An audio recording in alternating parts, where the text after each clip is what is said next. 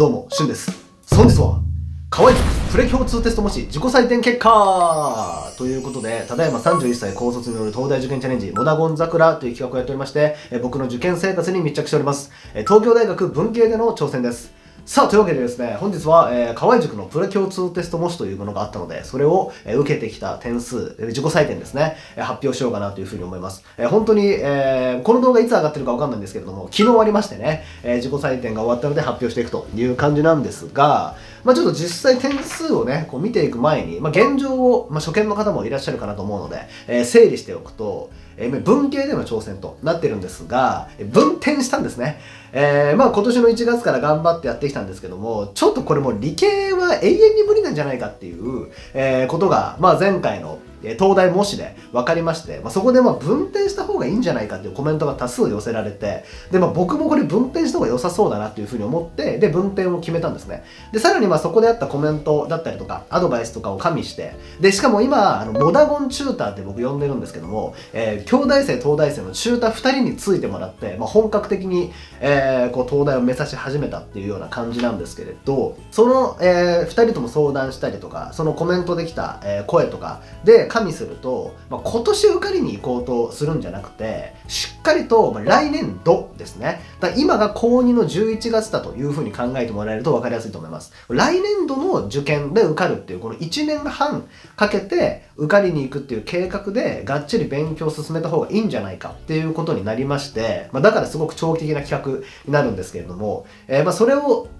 で行こうということになってやってるというような感じになっております。だから分転したのが、まあ、本格的に分転して中退についてもらって、で、文系科目こう進めていきましょうっていうのが決まったのがまあ11月なので、なんでまだ分転して2週間ぐらいで受けた、えーテストというような感じなんですけど、まあ現状把握をしていこうというような感じですね。まあ今のこの点数から、えーなんとか来年度ですね。来年度に、えー受かれるように持っていかなければいけない。まあ共通テストなので、えーまあ足切りですね。東京大学の場合は。足切りといって、えーまあ8割とか、えー8割5分とかを超えないと、えーそもそも東大のテストを受けれないんですね。でしかも、えー今年東大から発表があって、まあ、学費も上がったっていうのもあるんですけれども、えー足切りのラインも上がったんですね。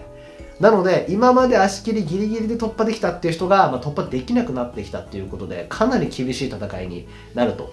まあ、おそらく共通テストはやっぱり85%以上は取らないとという感じで。まあでもそもそも東大に受かる人って、ね、逆転合格って基本的にはなくて、まあ、東大って2次がの配点がすごく高くて共通テストの点数は相当圧縮されちゃうので二次勝負だとは言われてるんですけどただやっぱりまあもちろん中には共通テストギリギリで突破して2次で逆転っていう方も中にはいらっしゃるんですけど本当に数名だということでまあ普通にやっぱり受かるというふうに考えると、まあ、そもそも85%以上ないと厳しいよねみたいな、えーような感じなのもあるので、まあ、そこをやっぱり目指していくことになるんじゃないかというようなところで。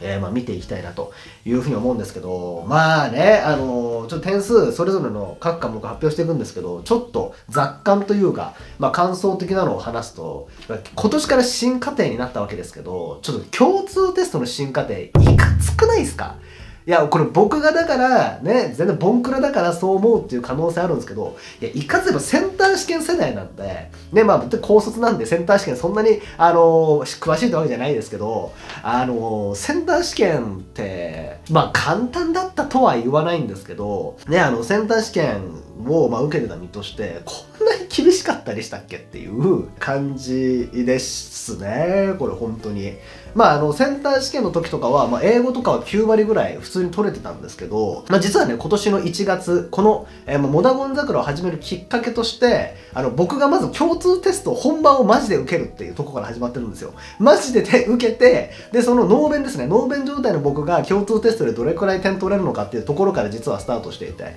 えーまあ、その点数もね、モダゴン桜の一番最初、モダゴン桜始めますみたいな動画で、あの、言ってるんですけど、まあ、先端試験、まあ、言うて12年前とかですけどね、まあまあ、英語9割ぐらい取れてた。なんですけど、えー、60点とかだったんですよ。ね、60点台だったんですね。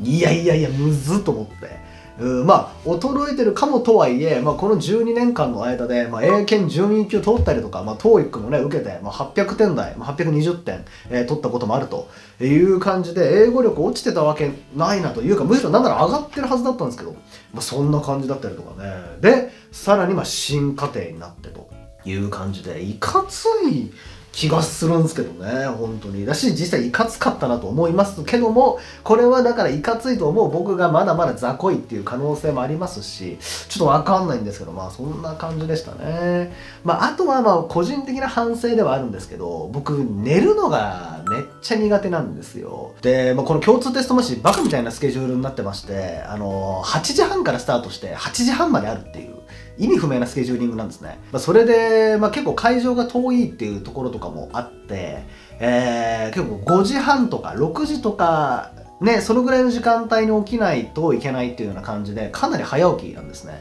っていう風になった時に、僕本当に寝るのが苦手で、特にもうやっぱり次の必死験とか、えー、そういう風になってくるとドキドキしちゃうっていう、まあ弱いんですけども、まあそれ込みで実力なんでね、全然いいんですけど、まあね、睡眠時間がね、もう3時間ぐらいしか寝れなくて、もうマジでそれなんすよね。もうさ、これが寝れるようになったらもっとパフォーマンス上がるのにな、みたいな。だから結構頭回ってないなっていう状態でこの12時間耐えるみたいな感じになっちゃって、ここなんとかしたいんですよね。えー、さすがにやっぱりこの睡眠不足でちょっとぼーっとする、全然文章入ってこないとかがやっぱりもう明らかに出てたんで、それが名残さえすればなっていう。まあ、ただ結局本番なんてもっと緊張するでしょうし、全然寝れなくて行くってことあり得るんでね。あの、別にだからどうだっていうことはないんですけど、これやっぱりね、寝れるようになったらめっちゃでかいなっていうのは、こう感じますね。まあなんでこの3時間睡眠の僕がフルブーストして、レッドブル飲んだもんね。あの、頑張った結果、さあ見ていきましょう。さあ、まずは英語から。まあこっからはただただ僕が点数垂れ流していくだけなんで、まあそんなに盛り上がりはないと思うんですけども、まあちょっとしたコメント交えながら言ってみたいと思います。えー、まず英語、えー、リーディング80点、リスニング73点でした。うーんですね。まあでもね、あの、嬉しいですね。そのね、60点台とかだったわけですから、それがやっと80点乗ってきたということで、結構安心しましたね。まあ、僕、大問丸々1個最後終わんなくて、それで12点ぐらい失点しちゃったんですよ。で、多分新家庭で、大門が1個加わってるはずなので、時間そのままでなんか大門が1個加わるっていうちょっと意味不明な感じになってるんですけど、この旧家庭の感じだったら9割とか取れてたはずだけど、新家庭になってるから、丸々大門1個が、ほんと1問だけギリギリちゃんと読めて、解けて、あと全部勘でマークしたけど全部違ったっていう、この綺麗な流れで12点ぐらい失点してたんで、だからそこの大門が8個あるはずなんですけど、7までは、要は8点失点ぐらいできてたんで、結構9割台のペースだったんですけど、えー、やっぱり最後ちょっと時間が足りなくてっていうような感じで、だからここが間に合うようになってくれば、いよいよ、まあ本当今回8割ギリギリだったんで、8割安定、そして9割狙えるような状態になってくるんじゃないかなっていうふうに思いますね。厳しいね。厳しすぎる。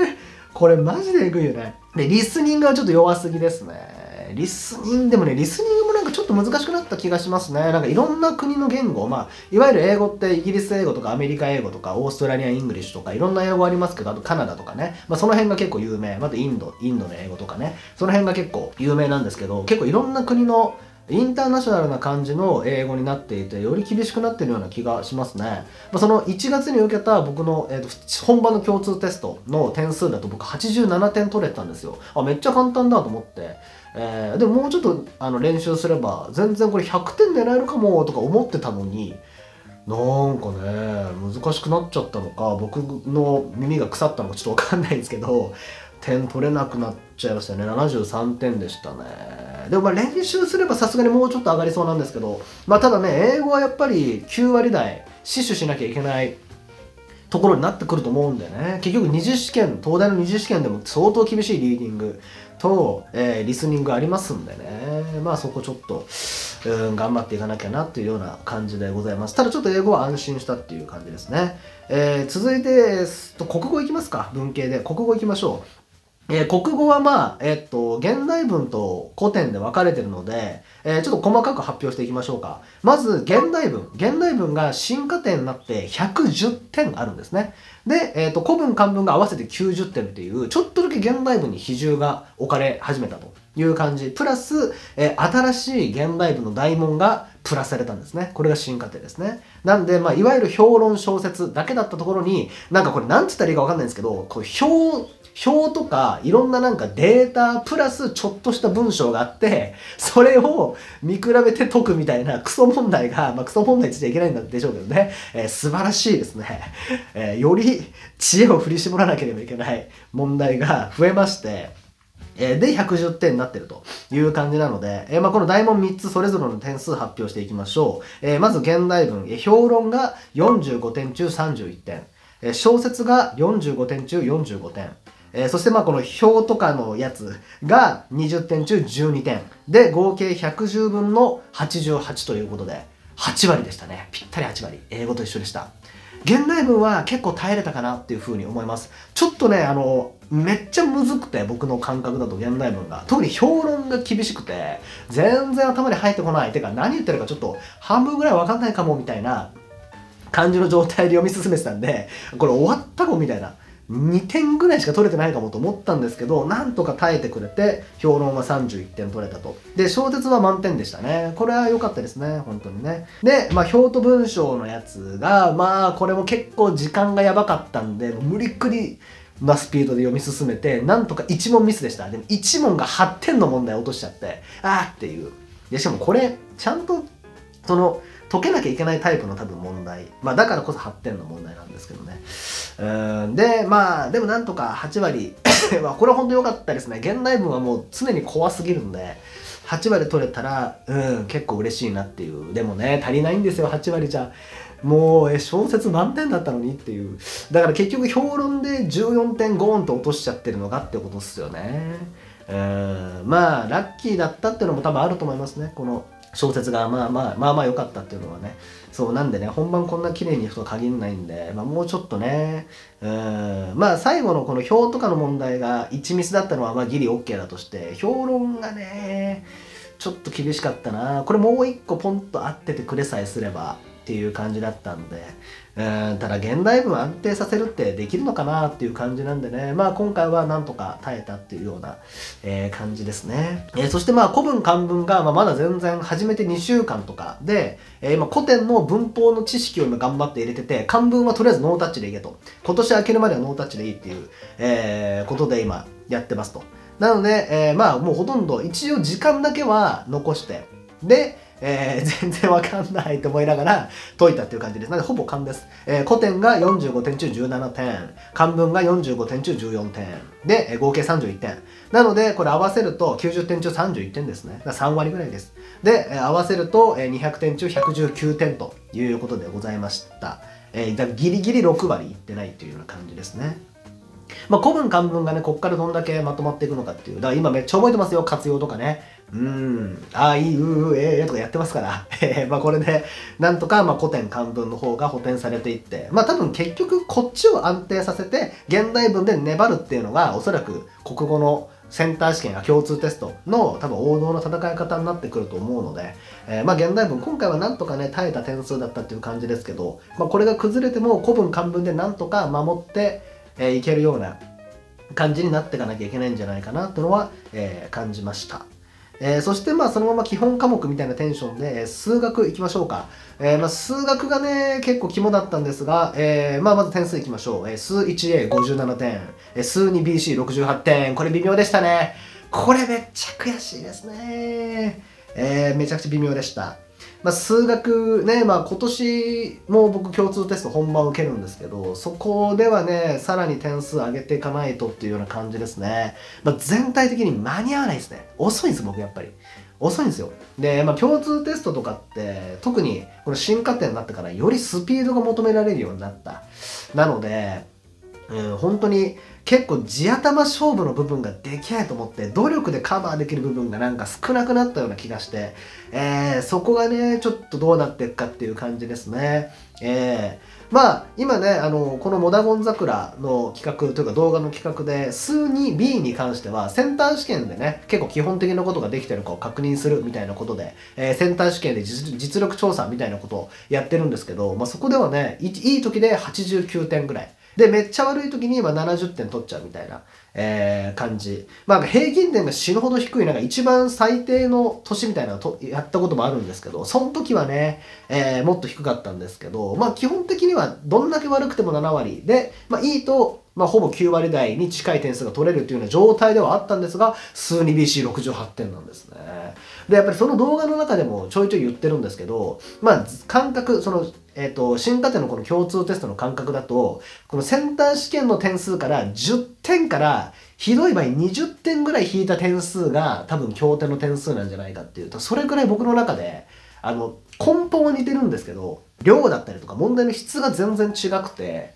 そんな感じな感覚だったんですよ。だからやっぱりちょうど、あの、そんなぐらいの点数になりましたね、やっぱりね。だから相性いい問題だと、センターだと9割近く取れるけど、だから、共通テストだとやっぱ10点20点マイナスされるんでだからそう考えるとよくて70点台だなみたいな感じで思ってたんでちょうどその点数数 2BC に関してはで1位に関しては、まあ、2BC の方が結構今力入れてて1位の方が入れてないっていうのもあるんですが厳しかったですね。うん。まあちょっとデータと分析のところが結構もう忘れてる状態だったっていうのもあるんですけど確率がねあの、半分ぐらいしか点数が取れなくて、で最近確率をね、あの、鍛えたばっかりだったんで、まあ、ちょっと時間に追われてたっていうのもあるんですけど、もうちょっと取りたかった。まあ、1A も60点台乗せたかったなっていう感じですね。まあ、今、あの、チューターの方に問題を送って、これちょっとどうどうですかという、えー、ことで、見てもらってると。まあ、弱点とかがいろいろあぶれ出されて、まあ、あとはスピード、えでもスピードが上がって正確性を失っちゃったりとか、まあ、そもそもスピード上げれるのかとかありますけどね。まあ共通テストのガチッと対策した時にどれくらい点上がるのかというところとただ対策してなくても多分78割ぐらいは取れないと多分対策して、まあ、8割だったのが9割とかになるみたいな感じだと思うのでベースがもっともっと強ければえ地方がもっと強ければ多分